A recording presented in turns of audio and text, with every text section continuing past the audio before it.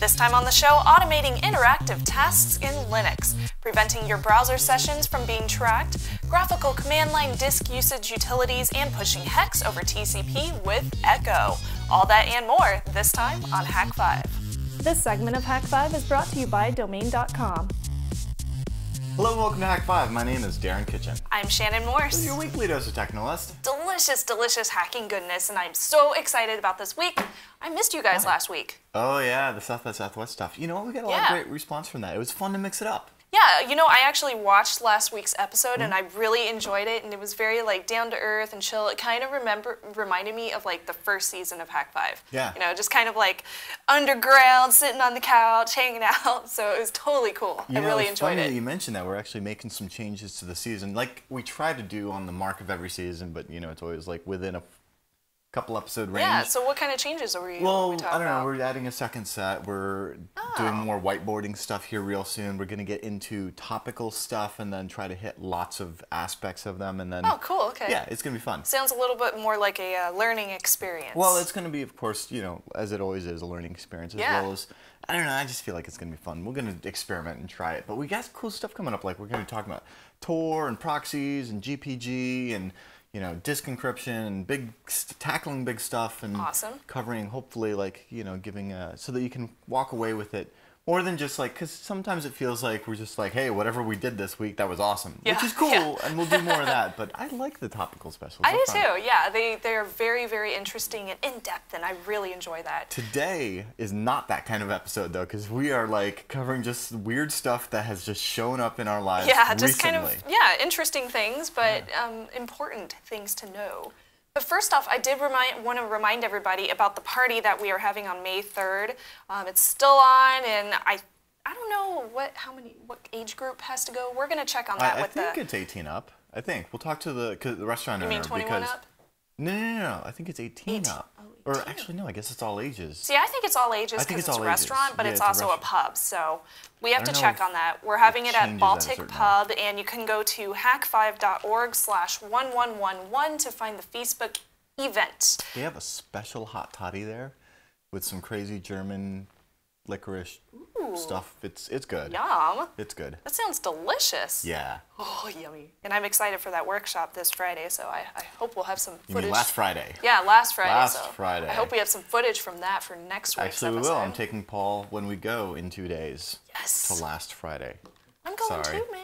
Oh yeah, yeah, yeah. Of course, Yeah. I'm not gonna miss it. Cool. All right. It'll, it's going to be a lot of fun. Yeah. Um, did we get any gifts from fans? Well, yeah, we did. Mm-hmm. so it's really big. So I just decided to grab a couple of things out of the box. So I'll go ahead and grab these for you. All right. I'll read off the letter. This is from Dale. And he said, I enjoy watching both of you on Hak5. To get your Technolust going, I have sent you a. Is this Coleco Adam computer? Coleco Adam Coleco Adam computer. computer, circa 1981. So this is from when I was before I was born. I personally was on the Commodore VIC-20, Commodore 64, and the Intel 8088 personal computer route, but oh. adopted this Adam from a friend in the late 1990s. After seeing you unpack various memorabilia from other viewers, I felt Hak5 would be the perfect home for this blast from the past that other viewers might enjoy seeing. That is wicked. So it's huge. We could take some pictures of it. Yeah. And also are included two books Computer Viruses, a high tech disease, an assembly language primer for the IBM PC and XT, okay. and some 5.25. That's my first computer. diskettes. That one the right XT? there. The XT. Wow. Yeah. So maybe I could break out my first computer and oh, dude, look at this. I think my can- dad had the Commodore or the IBM when I was a baby. I don't know. Oh wow. I cannot read assembly. I should learn assembly. Wow. Yeah. I'm, Inside the ROM. Ooh. that's some. Messing with the BIOS and 8088 instructions. Yes. Okay, that's cool. This is going on the new set. Yeah. For sure. Oh, that's going to be awesome. Some of it, it might not all fit. Thanks So what's going on that today? Well, get this. Uh, we're talking about a couple of things that I've run into recently as I've been doing some other crazy work stuff and uh, discovered an awesome way to do automation of Linux tasks that are interactive. Uh, I talked about it previously using a tool called Expect, which Yeah. uh, uses uh, T- TCL as a dependency. This is an awesome new tool that uh, uh, not new, new. It's new to me. That allows you to do just that. Just uh, be able to interactively uh, automate stuff with processes, and it's pretty cool for uh, like any Linux guy needs to know this, and especially when dealing with embedded systems where you don't have the kind of like you know you've got like very small overhead and Yeah. you know so Uh, that's yeah, uh, that's true. yeah, so that's what how I came about that. And also, I got a great nibble. I, I think it's actually more than it's like the whole. I wish I could get into the entire process of it because um, it was a lot bigger of an experience. But the one thing that I took away from that, and, and that is hacking into a friend's um, home automation system and breaking into their house, was. Um, uh, was just the, this really cool. You'll see. It's we're, we're I reverse engineered my first uh, protocol. oh, cool, Yeah. man, that's exciting. Yeah, I know. It was All really right. really cool. Very proud of you. Yes, thank you. Okay, well, this week I am uh, checking out a privacy protection tool that's super, super easy to set up. So I'll check that out next uh, next block. I, I got something to add to that too, but we'll talk about that in the C block. All right, cool. Until then, let's talk about empty. I know it's an empty segment. Why don't we Why don't we empty that side of the All set? right, I'm out of here. All right, cool. Well, like as I said, um, Empty is, is a tool that you can use instead of Expect. And from Empty's SourceForge page, they describe it at sf or empty.sf.net as a utility that provides an interact provides an interface to execute and interact with a process under what they call pseudo terminal sessions. So this is pretty cool because you know you can use this program to um, to script shell to, to create shell scripts which communicate with interactive processes like telnet or ftp or ssh and while you know i said tcl expect can do pretty much the same thing um, empty is maybe a better choice because it can be invoked directly from the shell. It doesn't require TCL or Perl or Python or any other language. It's super small, simple, and clean, and it's already been ported to most flavors of Unix. So uh, installation really simple. You know, you just go to the download site, uh, sf or what is it, uh, empty.sf.net. Download the tarball, untar it, make all install clean, whatever. Or you could just grab it from your repo. And in this case, like in Ubuntu, it's a matter of sudo apt get install um, empty-expect is the name of the package. All right, so the cool thing about the way that it works is that everything is based on files. So I'm gonna go ahead and show you by starting an interactive process and we'll take a look at the files within. So for that, we're gonna need a, uh new script. So I'll do cat eof and then send that to a file that we're gonna call, I don't know, empty.sh. We'll begin that with a shebang slash bin slash bash, and now we can go ahead and create our empty script. So the first thing we need to do is start the process with empty, tac f, and then we need to say specify an input file and an output file. So tac i, and we're going to call this input.fifo, and then tac o for our output file, and we'll call it output.fifo. And then we can also specify a PID or a process ID into a file in case we want to be able to like, you know, have like multiple ones of these going and kind of keep track of everything a little bit easier. You don't have to specify this. If you don't, it's just going to create its own PID, but um, this is just a nice way to keep track of stuff. So I'm going to call that empty.pid.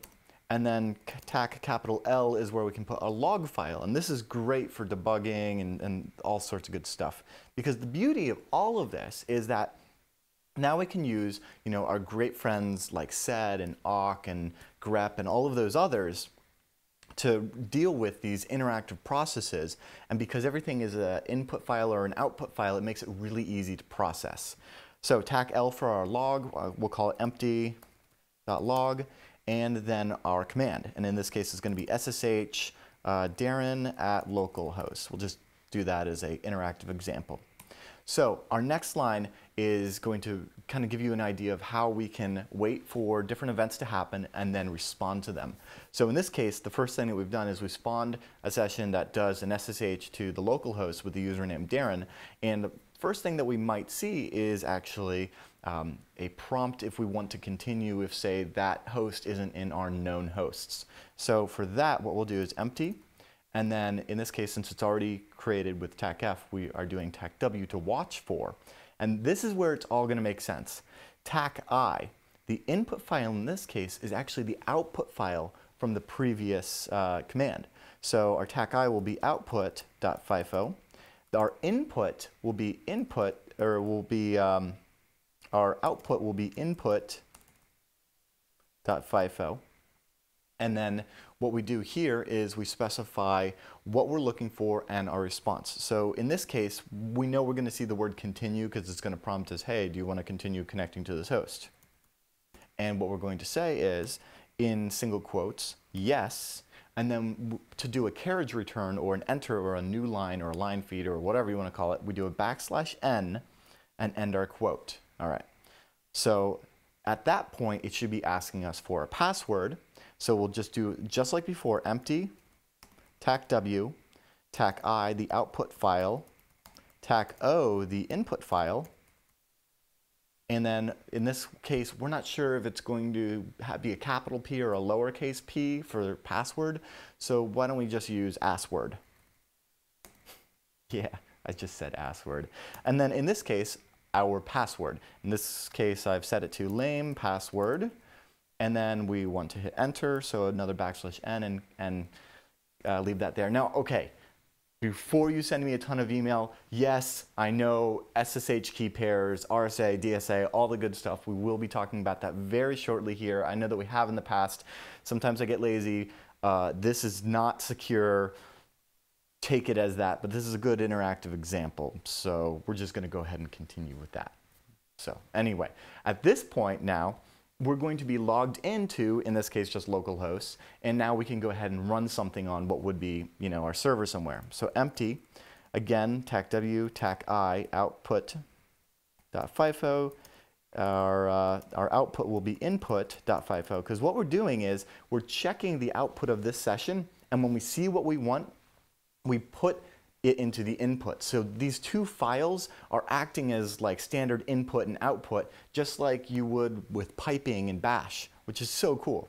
Um, so our output is input.FIFO, and then in this case, we're going to see, I don't know, the word Darren at, because, uh, you know, or just Darren, because we know that that's who we're logged in as, and we'll run top, because that's a fun thing to run. So just top backslash n, there we go. I'm going to do an EOF to save this file. And if I chmod that with plus x for execute, now we've got our empty script file and it's all set to be executed. So if I just do dot slash empty and I'm going to open a new window here, come back here. Okay, so I'm running empty and you see that this process is now running. I didn't put an ampersand at the end of it, so it's not in the background. If I come over to my new tab and ls empty star, you'll see there's my empty.sh there's my empty.log. And if I cat empty.log, you can see that it, just like I expected, it says that it didn't have localhost in there. Here's the fingerprint. Are you sure you want to connect? It hit Y and hit enter and it did not get a response. Why is that? Well, look at this. We can see that our next two empty strings said that the uh, this data stream is empty. The key phrase, which is what we're looking for in this case, the word continue, the word assword, the word Darren, wasn't found, so it times out. And there's actually a way to specify the timeout. Uh, the reason that this failed was because I did not account for the fact that in this distribution, you have to type YES and not just Y. It changes on a distro by distro basis. I'm just going to go ahead and, and uh, pop into, actually I'll pop into Nano, give Nano some love. Been using Vi and Vim too much lately. Um, our file empty here, .sh, and if you've been following along, you already know all I have to do is come in here and change this Y to yes. Save that file. All right, and now let's run it again. We'll, uh, we'll even go ahead and uh, delete this log file. Del, what am I in DOS? rm uh, empty.log.